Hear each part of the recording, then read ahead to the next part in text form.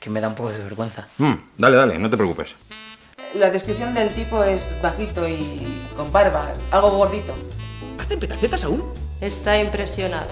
Ha accedido a verlo. Albertito, sé un buen cristiano. Acepta sus disculpas. Batido, llama ya. ¡Vente, batido!